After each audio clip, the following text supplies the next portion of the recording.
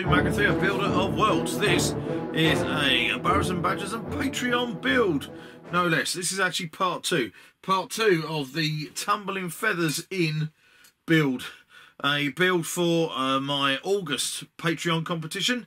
Uh, uh, the winner of which, when I have a Patreon competition, the winner of each competition uh, gets to uh, uh, get a piece of scenery made by me, Magrathea Builder of Worlds, uh, for their own collection. The competitions are usually give me a great idea for a piece of scenery that I can make on a video, and uh, I'll make it for you. And uh, this time in August, it was finally won by a B&B player. There have been several competitions beforehand that haven't been won by B&B players, although that's where this whole channel started. Um, I've made scenery for Silver Bayonet and for Fallout and for uh, Necromunda, um, amongst other things. Uh, but this time, the piece of terrain uh, is a Burrows and Badgers model. It is an inn called the Tumbling Feathers the concept of which was come up with by the fabulous Matt Calow, uh, and he writes all about the Tumbling Feathers and a number of other Burrows and Badgers, Albion and Northumbrian inns and pubs and taverns at his blogspot uh, blog, which I can't remember what it's called, but I'm going to put it on the screen right now. Uh, uh, uh, there you go, Matt. Bit of plugging for you there. There, Tattle Tavern, Tattle Talent Tail. oh, I don't know. It looks on the screen anyway. Um, uh, the idea of this inn, if you haven't seen the first part, actually, if you haven't seen the first part, just press pause now uh, and go and find the first part. That'll be the best thing to do. That'll give you a whole breakdown on what the first, this whole thing is about. But if you want to skip to the kind of like the bit with the detailing and the finishing off and the painting and the the last bit on the rotating roundy bit and the cool stuff, then I'll get you up to speed. The idea is is that the uh, tumbling feathers inn is an inn built uh, initially by birds for birds up in the trees over a road in some forest somewhere on the roads of Albion. Um, originally, there was no way in for ground dwelling creatures to get into it. It was all kind of like perches and landing platforms and that kind of thing. I suppose squirrels could have got in without too much bother. Um, but as the popularity of the inn and over the years grew, uh, they put a staircase in through one set of uh, uh, in a hollow tree up into the whole thing, and it's kind of like grown and evolved, uh, which is exactly, funnily enough, what this model has done. you might remember it started off with two Sylvanian family treehouse trees. There they are, one, two. Um, and then I started just adding different platforms and landing bays and things. We've got one tower that's being built up here. It's going to have a hexagonal tower on top of it, and then another bit across here. And I've got this wooden platform here and a set of stairs. And um, there's the doorway in the base of the hollow tree that's going to go up here. Uh, yes, yeah, so it's coming on. I'm really pleased. if you watched the last video, you'll know that I had no plan for this beyond the discussions I'd had with Matt. Um, and uh, yeah, I've changed my mind a number of times. It's been very interesting. And I know that a number of viewers like to kind of like watch that process take place because, yeah, there's nothing scripted, there's nothing planned out with this particular model. It's very much kind of like happened and evolved and grown organically, which is kind of fun.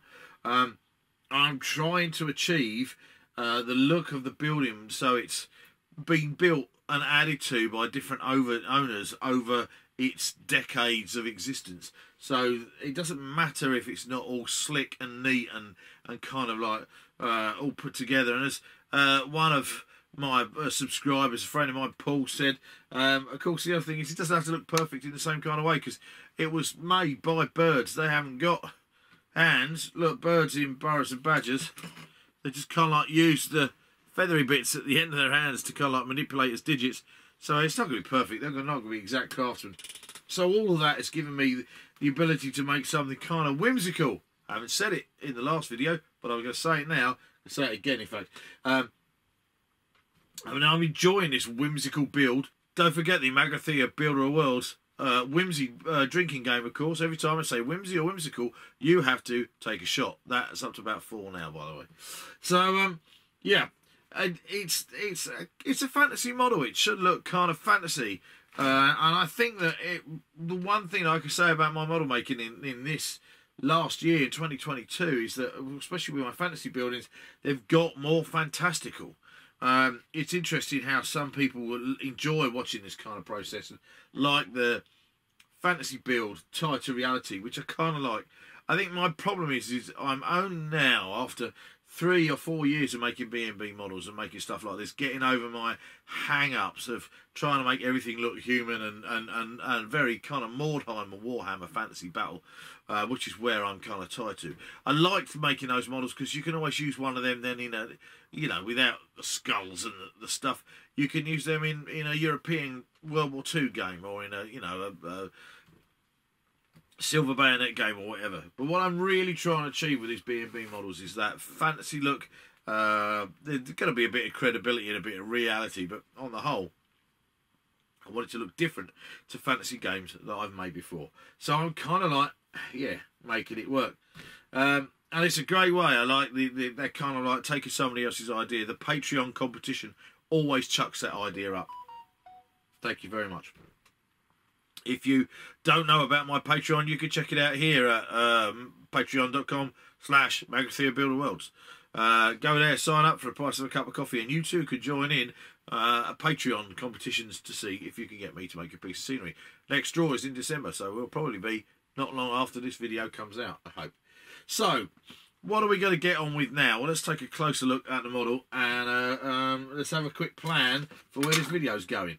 I mean, I say a quick plan for where this video is going. This video was probably going to take a week or more to make, and by the time I'm shooting the last bits, I will have completely forgotten what I've said in this introduction. So um, the plan might not kind of like uh, get past first contact with the enemy, but I understand that that is the way plans are supposed to work. So, uh, yeah, come down here. Let's take a closer look. Yes.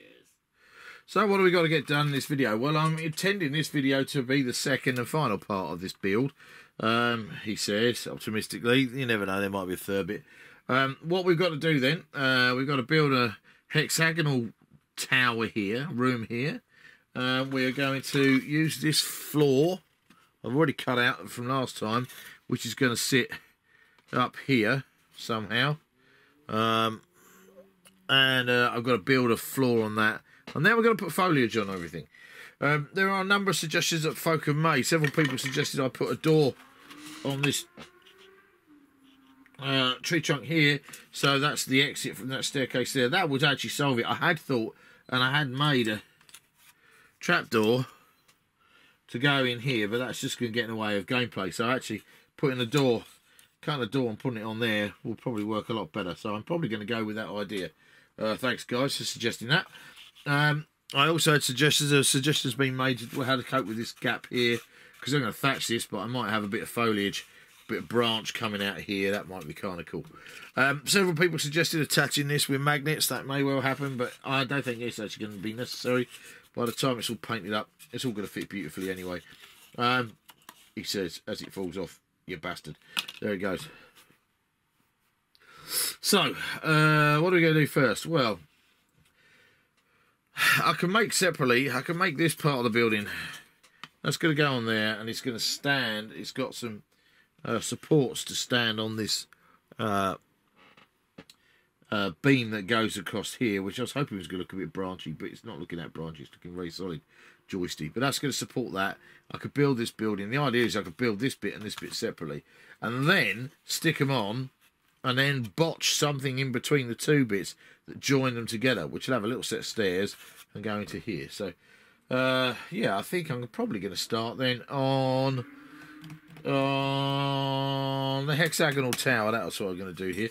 I will, of course, also have to make more of this staircase here because uh, this is then going to rest thus. So I need stairs going from here up to here. I was last time going to try attempt to make a spiral staircase around this neat tree trunk. But actually, the problem with spiral staircases, apart from the fact they're bloody fiddly and they take ages, is that they're not very practical from a gaming point of view. So I've gone for this st steep set of stairs here. And then this square platform, which then means, I mean, that can take a 50 millimeter base. So from you know from gameplay point of view, it's much better. Tiny little set of stairs, bit there, and then I'm going to make another set of stairs up to this bit here when I put it in place. But I'm not doing that yet. We're going to start with a hexagonal room. And to do that, I'm just going to need some balsa wood, the right width. Conveniently, because I'm clever like that, I managed to make the lengths of my hexagon same thickness As this balsa. That was accidental, but cool. Right, so I need I'm gonna need five walls to start off with because I'm gonna take this one. Wall isn't gonna get added, um, and I might decide whether I'm gonna add two stories to that or not. We'll see how it goes. Quite a tall model already. Um, definitely do need five walls. Need a steel rule. I should have tidied up my workbench really before I do this. Really, kids, top tip, modelling tip, Magrathea modelling tip. Keep your work area nice and clean and neat and tidy. Then you've got space to move things around and you'll be able to clearly see the wood for the trees. Or in my case, keep your workbench like your bedroom was when you were 17 years old. An absolute pigsty. Um, and then you'll have everything you need to hand anyway. You'll just have to dig around for it a little bit in the cat. Oh well, here we go. Let's make some walls. Hold on to your hats, kids, because this is going to get this here tower built. Okay, now I've got... now I've got a bloody cold. That's what I've got. Um, apologies if this rest of this video sounds like I'm partially dying. Uh, that's because I've got man flu. Uh, well, I haven't because I'm kind of still on my feet and doing stuff, but the whole house is full of ill people and we're all dead and dying. It's not COVID, but it bloody well feels like it. Um, anyway, enough of that self-pity. I have got five wall panels. Three I've done with windows, arch windows, because they're going to be nicer. They're going to go up the top here on this bit of the model. And uh, two that are solid wall panels. Now, I know that you'll remember I know that you'll remember that this is a hexagonal room. And I've only got five wall panels, but that's because this sixth wall panel here isn't required because that's going to be open to um, uh, the rest. I'm going to botch walls in between that and whatever this bit here ends up looking like kind of thing. So uh, that's the kind of current plan. Um, so I'm going to stick these on now. I've also that trap door that I've uh, I made earlier uh, in the last video that I was going to go on the floor in this room down here is now going to go on the top of that trunk there um, although what I really really could do with is the trunk continuing up through here hmm. but that's a bit of a pain in the ass so look at that, I'm about to change my mind. It would be cool if I made a, what if I made a, if I made a 25, if I made a bit of trunk out of XPS foam that went through the roof. Or not make the trunk, just for simplicity's sake, assume that it goes through the roof, um, and then have the roof with bits of tree sticking out the top, which I can lift the roof off with the tree on, and there's enough space in there, because if I put a bloody great big tree trunk in the middle there, it's just going to get in the way of models, isn't it? Uh, bin that idea. I might even bin this idea. But I'm not binning this idea, which is sticking my five walls on. It's going to go window wall over here, so you look up the road that way. Blank wall over here, because I'm going to have some kind of pot-bellied stove or something over on the wall over there and the chimney out the side. Window here, blank wall here, window here. I think. Um, so I need to find some glue. Going to wield that on, stick it on, see how it goes. I'm probably going to have to trim these down a little bit because I think they're probably too wide. Um, some of them are trimmed already, and I'm going to stick them butt against the floor as opposed to standing on the floor, I think. I'll have a look. Yeah, hmm, not sure. Um, but that will then give me uh, this bit here, which I can then have a bit of tree and foliage and the like growing out of kind of thing. So that's what we need to do. We need to stick that on there, stick that to that, stick that to that. And it's going to be a bit higgledy-piggledy, I should think, which is kind of like what we're going for, really. Won't be nice and neat. Because, as pointed out by a couple of people watching the last video, this one was made by birds and they don't even have proper hands. So, let's find some glue, and stick this on and see how it goes. So, um, wall section's on successfully glued. I'm going to need a little bit of extra structure, I think, on the inside. Uh, but now we can see the uh, this great big gaping space here. It's fine. I mean, the Raven is one of the biggest models in the range, and that stands in there quite nicely. Um, Got another 50 millimeter based figure around somewhere. Even the sparrow, or even the red kite with its wings up, by the time I put a roof on, would fit in there if I need to. Um, so from that point of view, that's good. Um, I've now stuck on this platform, which is going to have the other building on it. And what I've done underneath is I've added a number of supporting joists uh, that are going to hold and add, add structure to the, um, the floor, keep it all in place. I might put the odd pin in there one way or another just to hold them together. But they should, when the glue's gone off, that'll be nice and solid. And uh, now I'm going to build on top of this. And I also need to build another little set of steps up here. So I think I'm going to have a door here um, with a set of very steep steps.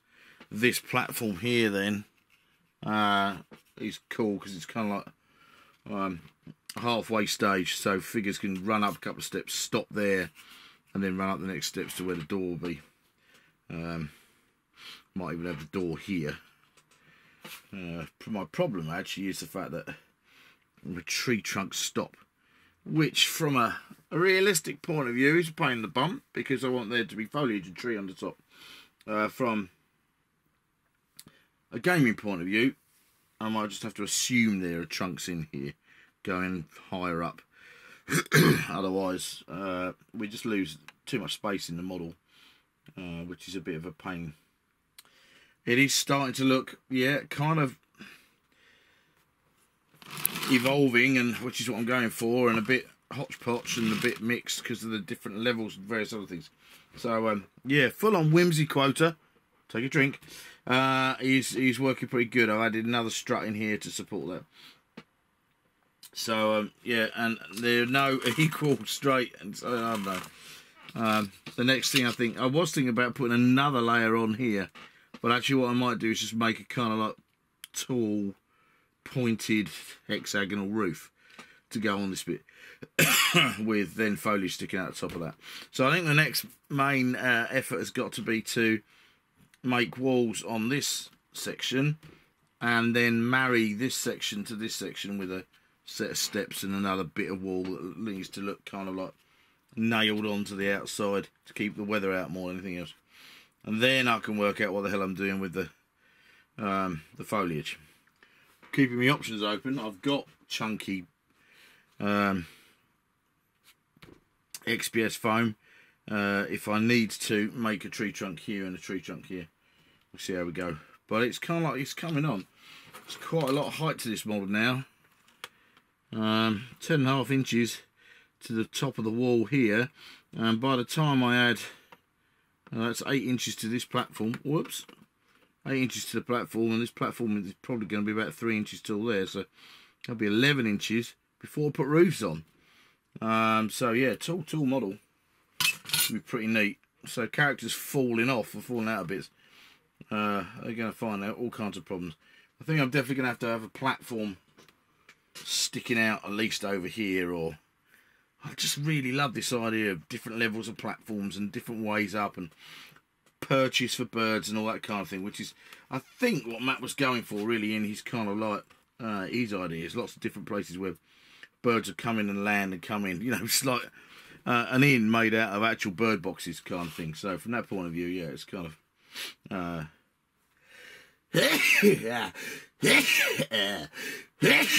Ooh, ow. Oh, crap. And yeah, yeah, platforms over the road and that kind of thing. Pretty neat. Uh, so, yeah, keep going. Next bit, floor here. Yep.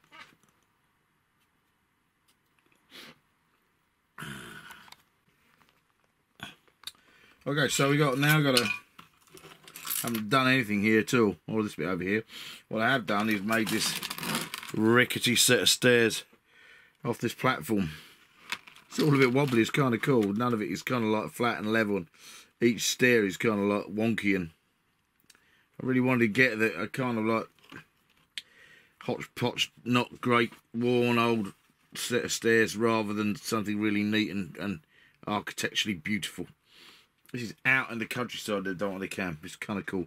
I'm going to trim up some of these bits of balsa a little so they work better. I've pinned some of the stairs together so it all holds in place, especially while it dries.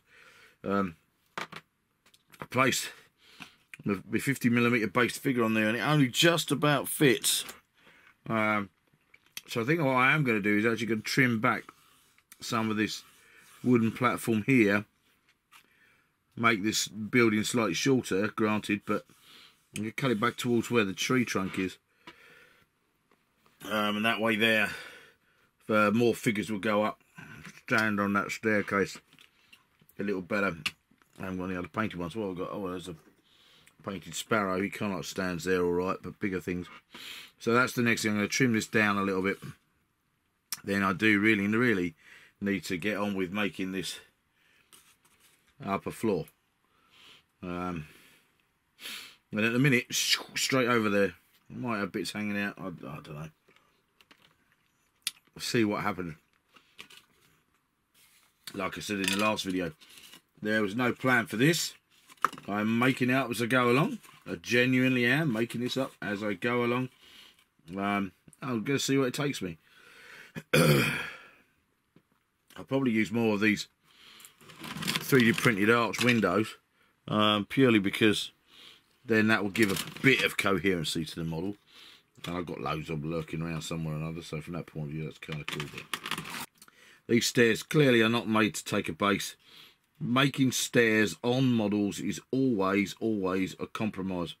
Do you go for accurate stairs, number of stairs to meet the feet, or do you go for stairs that could take bases?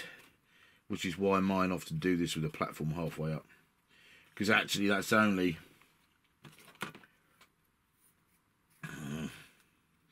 an inch or so up. So it's one inch of movement to get up there from the base to the bottom. And this is still a two inches roughly to go from here up to here. So if I cut this back here, um, I can have a doorway here, I think. Let's do that. See how it pans out. Right, making good progress now. Still not going to get it all done before I go to bed on this evening. But made a wall that's going to go on here like that. And I just noticed how not square that is, which is great. Because uh, I'm doing most of this without rules or anything else. I'm just doing it by eye. I've cut this, taken this one bit of balsa off, it's fairly thick. Cut a rough archway. Again, I don't want it to be neat and nice and lovely. It's just a rough archway that's going to go into the end. Stick that in here.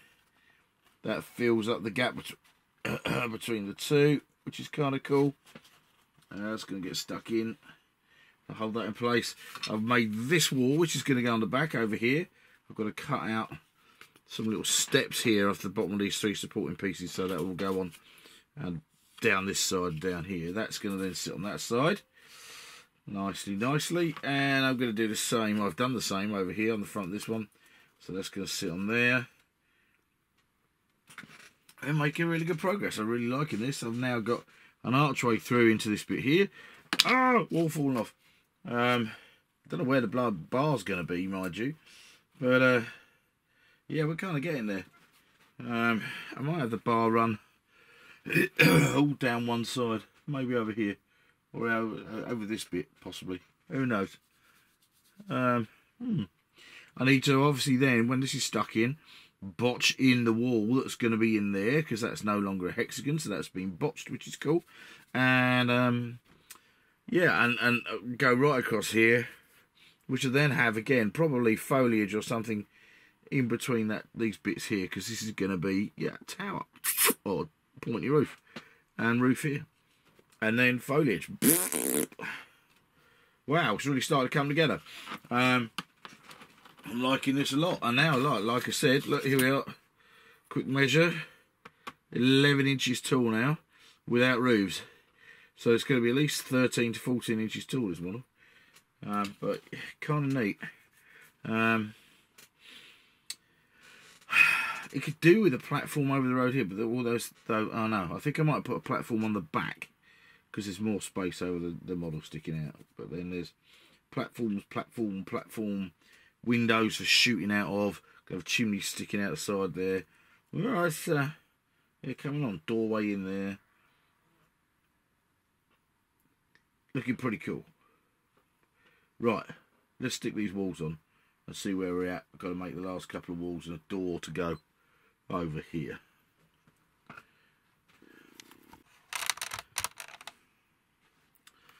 So in the top hall then, I'm just putting in the odd cross brace. I've used a bit of balsa here.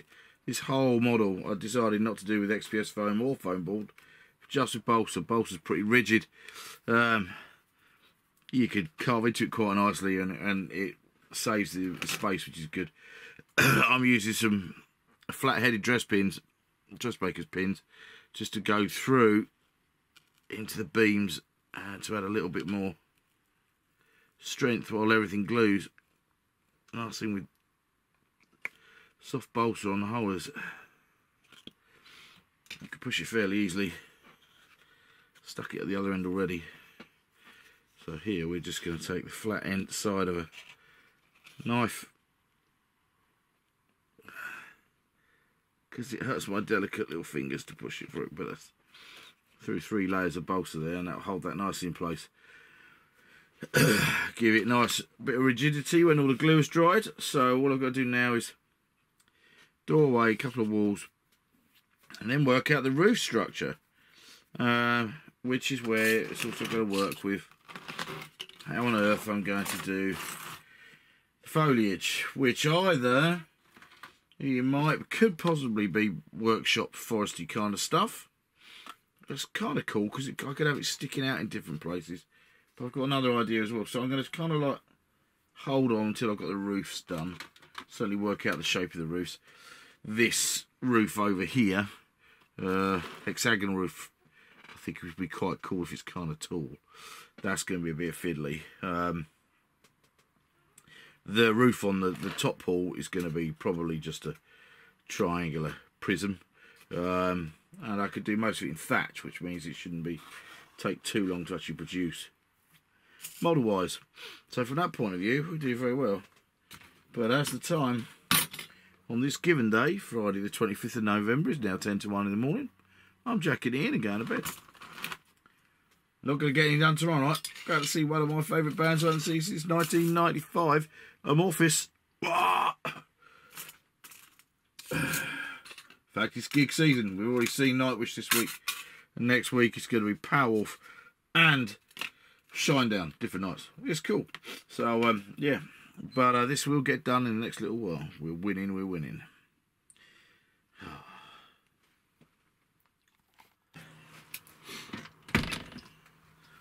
Right, so since we last,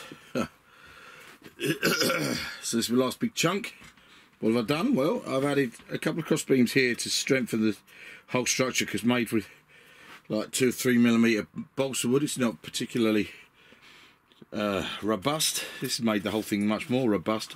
Um, this end now, here I've added this back wall sections and a door down here. Um,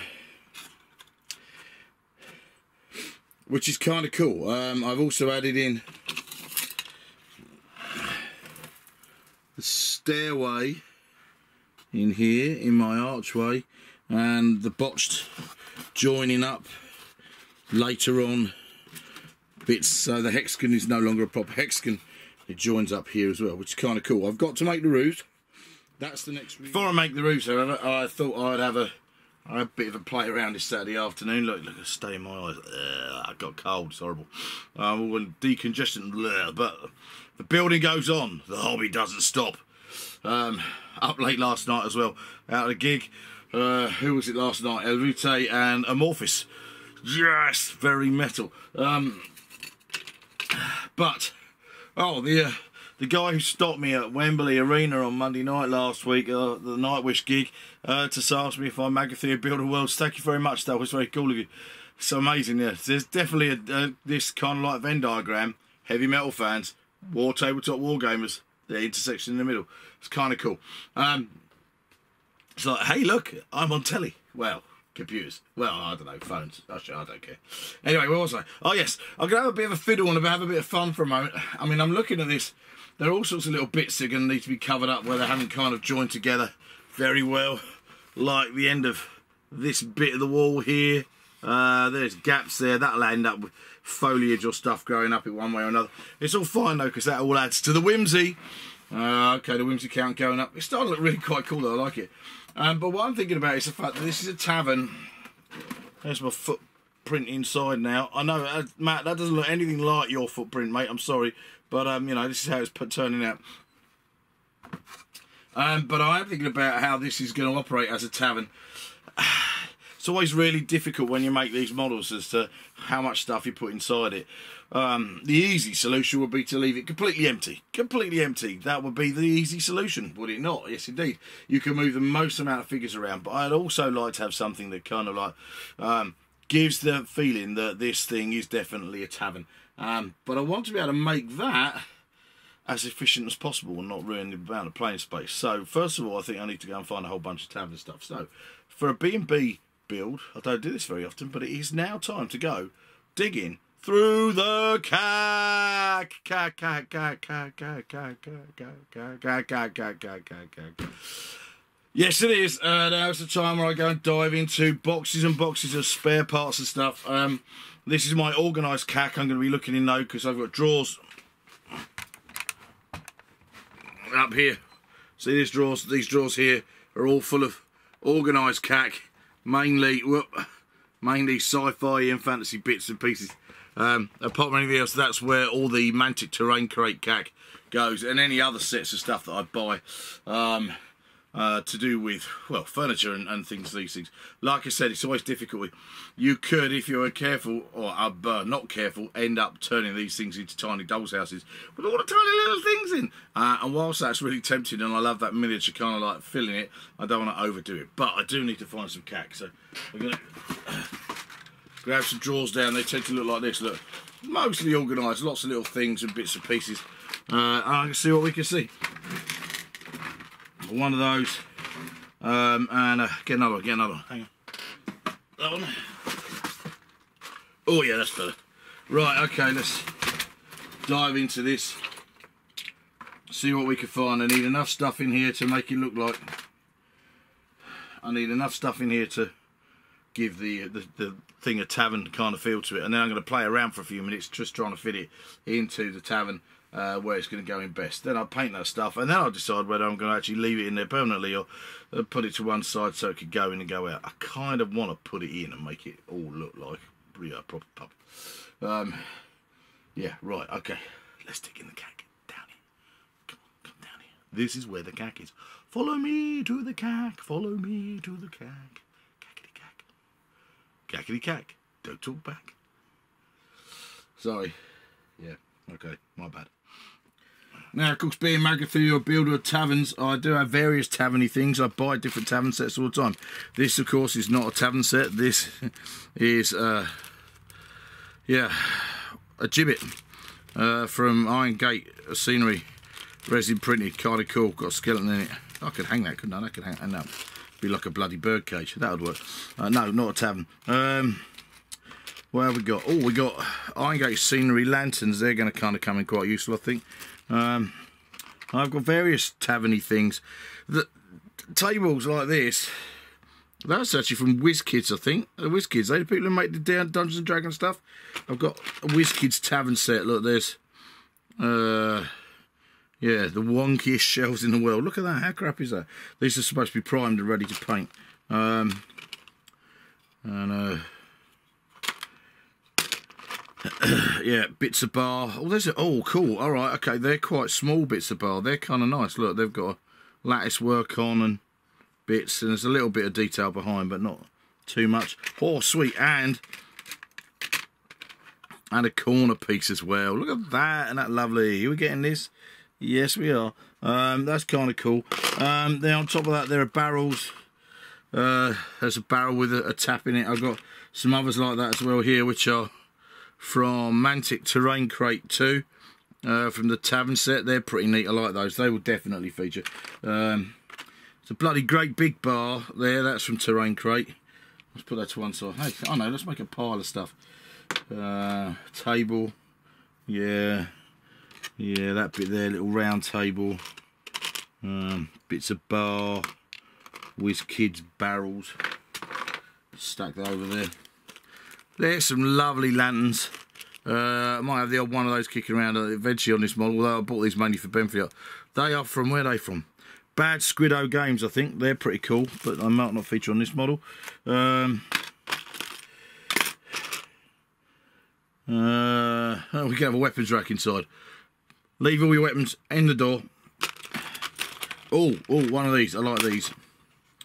This is also from Terrain Crate. Look, there's a wine rack, bottles and glasses and everything else. That's really cool. Um, um, um, um, um, fireplace. Yeah, that will be cool. Terrain Crate. I've even got resin stuff from, oh damn, who are they called? This is one, these, this is resin stuff from, from one of the companies that I've bought resin stuff for years and years and years from, and now I can't remember what they're bloody called. Um, they were making resin scenery, uh, cast resin scenery, and nobody else was. Uh, I'll have to come up with their name. In fact, when I found it, I'm going to stick it on the screen just here, just so uh, they don't get left out. Um, big terrain crate tables. Bit too big, really, for this, I think. I don't think I need to worry about that. Um, yeah, so already, all of a sudden, I've got enough stuff. I just don't think I'm going to bother, bother with. I mean, look, here's another one. Uh, bar stools and stuff. I'm, I'm not going to mess around with bar stools and chairs. They're just going to get away. So I reckon that's probably enough for me to have a route through. Like I said, isn't it easy when the khaki's kind of organised? It's not all organised. Look at that WizKids bottles. That's cool. Tiny little clear bottles. Um, left in the packet so I didn't lose them. I'm not entirely stupid. Um, yeah, organised cat. That's pretty good. Whoa, look. Whoa. Can't remember um, who are they from. Yeah, again, the name escapes me. Little set of tankards. They're pretty wicked. Um, yeah, I bought a load of stuff from them and I can't remember what they're called either. Shite. There goes me old, old fuddled head. Uh, yeah, if I come up with their name, I'll stick them on too. Um, yeah, cool. Right, okay, let's have a closer look at some of this. Right, here we go then. Uh, this is the kind of stuff I pulled out. Definitely want the fireplace. Fireplace, nice stone fireplace. I've used a number of these. This is from Terrain Crate. Uh, that would look really cool if I found a deliberate place there. I have left a couple of blank walls because I wanted a fireplace of some description or another. So I'm, I'm definitely going to need that. Um, and I want barrels. And I'm, this is, I've got several of these and this is too cool not to use. So definitely going to have that in there. It's really whether I, what kind of bar I go with. Uh, the WizKids one, bits of that, that looks pretty neat. Um, there was something else I saw as well, which I didn't get out. Hang on minute which I could just get away with using as a bar. Again from Mantic Terrain Crate.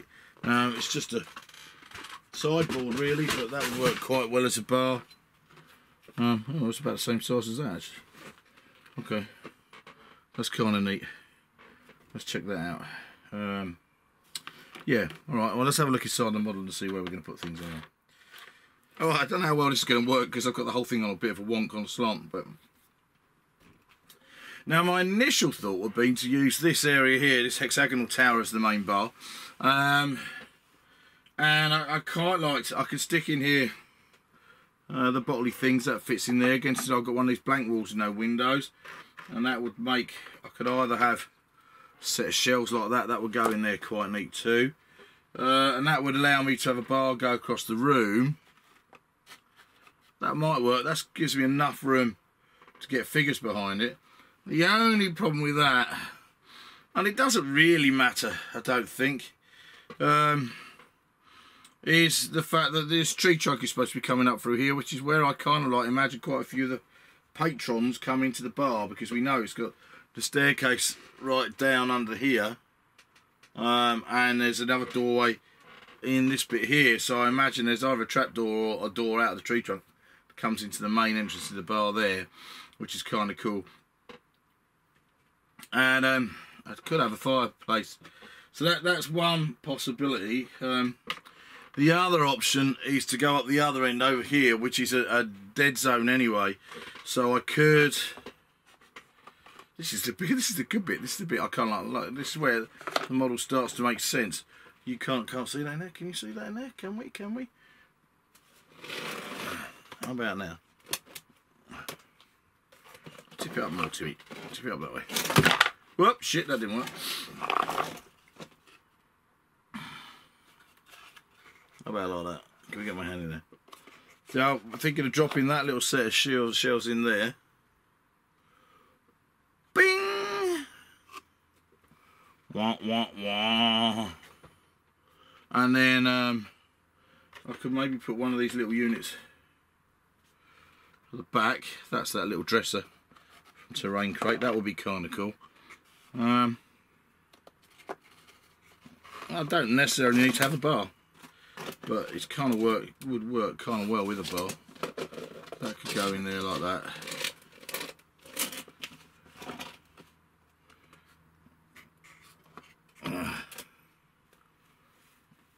then could have the bar underneath.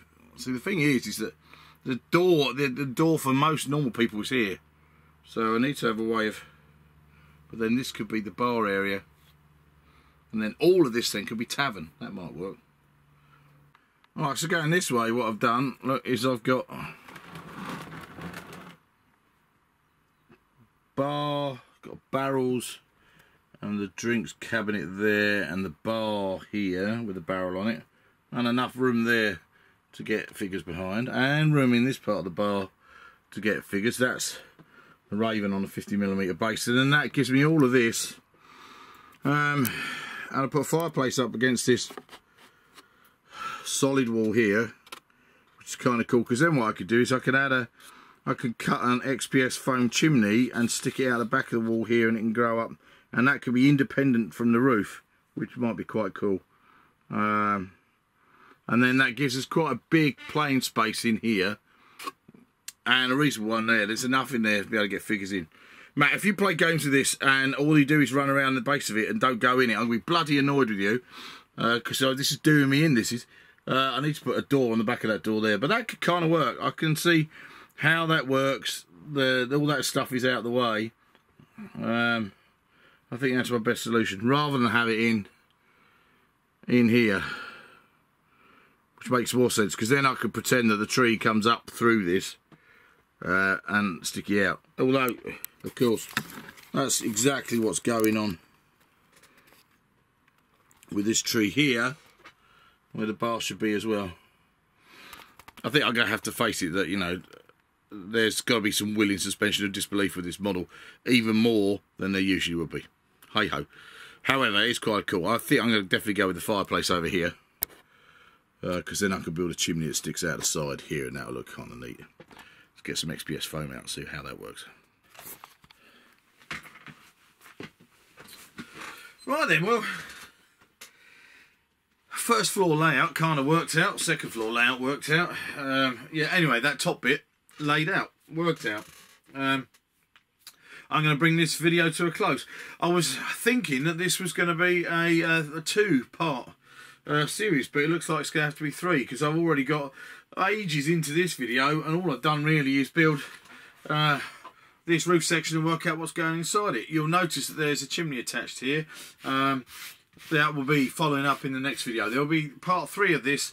Uh, it's going to follow fairly hot on the heels of this video because I've got a little way into it, but I haven't got the roof done yet, and that's going to be quite a big job in its own right. So part three is going to involve the making of the roof uh, and working out how that's all going to work, and the making of the XPS chimney here, and then the paint job. Um, uh, yeah, I'm really quite happy with this.